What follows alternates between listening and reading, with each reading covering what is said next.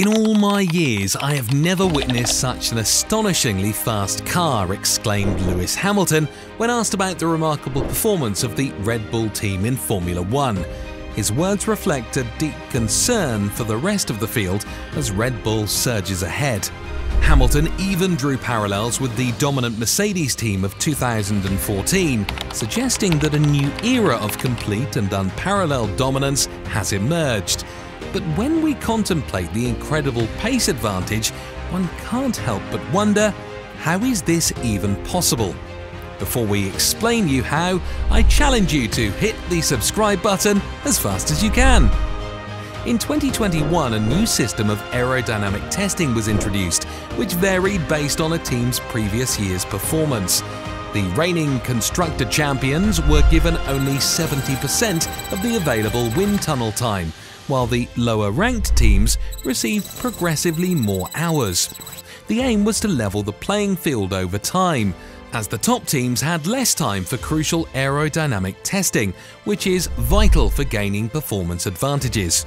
Additionally, Red Bull faced penalties in 2021 for exceeding the cost cap, resulting in a $7 million fine and a 10% reduction in their allocated wind tunnel time. The combination of these two factors is truly perplexing when we consider Red Bull's current dominance. They operate with 15% less wind tunnel time than Ferrari and 20% less than Mercedes, yet they effortlessly surpass both teams, setting staggering lap times.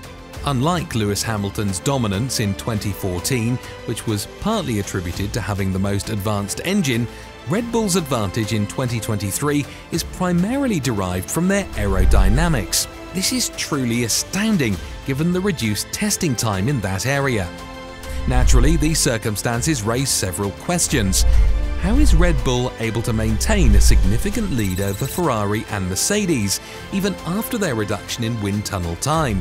Are they exploiting loopholes or finding creative interpretations of the aerodynamic testing restrictions? Or have Ferrari and Mercedes simply failed to make substantial advancements in their cars despite having more time in the wind tunnel?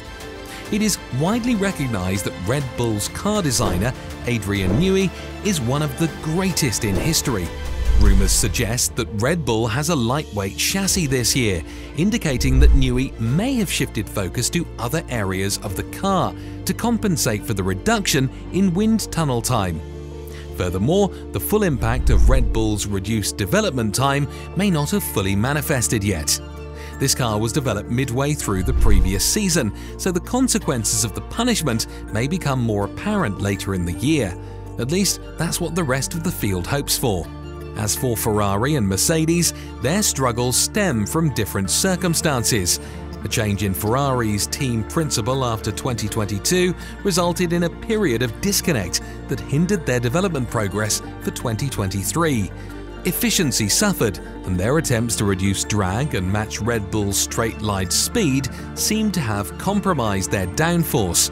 As for Mercedes, they openly admit that their entire concept has inherent issues, Aston Martin, led by former Red Bull head of aerodynamics Dan Fallows, is demonstrating the effectiveness of the Mercedes engine in a car similar to Red Bull's style. It appears that this era of Red Bull's dominance is a combination of their remarkable performance and the failures of their main competitors.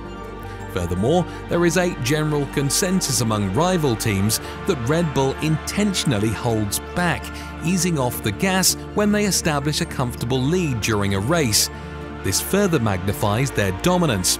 In fact, this season could potentially go down as the most dominant in F1 history, with Red Bull poised to win every race.